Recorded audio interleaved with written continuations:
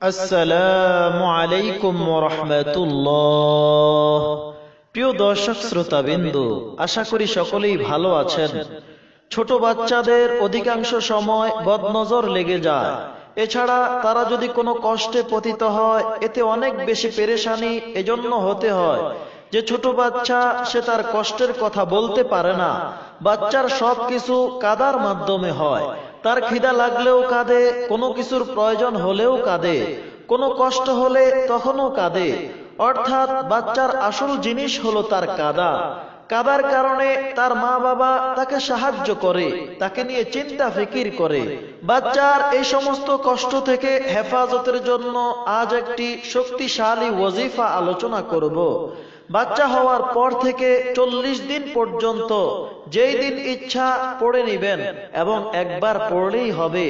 এতে করে সে বালেগ হওয়া পর্যন্ত খারাপ লোক এবং শয়তান এবং হিংসুকের হিংসা থেকে হেফাজতে থাকবে এবং বদনজর থেকেও হেফাজতে থাকবে এবং এরকম রোগ ব্যাধি যা অনেক ক্ষতিকর, উহা থেকেও হেফাজতে থাকবে। অনেক সহজ এবং সংক্ষিপ্ত ওজিফা ওজিফাটি কীভাবে করবেন? বাচ্চা হওয়ার পর থেকে চল্লিশ দিন পর্যন্ত যে কোনো দিন, যে কোনো সময় একবার আমলটি করবেন। আপনার ডান হাত বাচ্চার মাথায় রেখে প্রথমে এবং শেষে একবার দুরুদ ইব্রাহিম পড়বেন। মাঝে এক শ্বাসে আল্লাহ পাকের দুটি নাম, ইয়া আল্লাহু, ইয়া বাররু, ইয়া আল্লাহু, ইয়া বাররু, এভাবে দুটি মিলিয়ে এক শ্বাসে সাতবার পড়বেন। অতপর বাচ্চাকে ফুক দিয়ে দিন।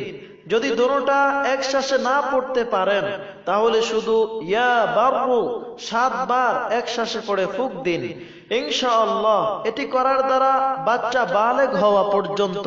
বদনজর থেকে, শয়তানের কুমন্ত্রণা থেকে, দুশ্মানের সর্বপ্রকার ষড়যন্ত্র থেকে হেফাজতে থাকবে।